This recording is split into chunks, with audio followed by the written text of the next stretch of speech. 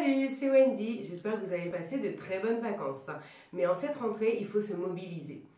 En effet, alors que les effectifs explosent dans les classes, alors qu'il manque de nombreux enseignants un peu partout en Guadeloupe, alors que le rectorat est obligé de recruter des non-titulaires en contrat précaire par centaines, le ministère de l'Éducation nationale annonce la suppression de 2600 postes dans les collèges, lycées pour la rentrée prochaine.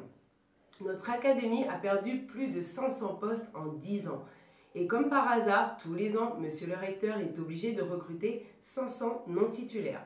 Quand le reste des académies gagnait des postes, notre académie en a perdu. Aujourd'hui, le risque est grand de voir la saignée se poursuivre, au détriment des élèves, au détriment de nos conditions de travail. Cela doit cesser.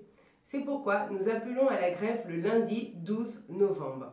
C'est un appel unitaire auquel ont décidé de s'associer à la FSU, l'UNSA, FO et la CGTG.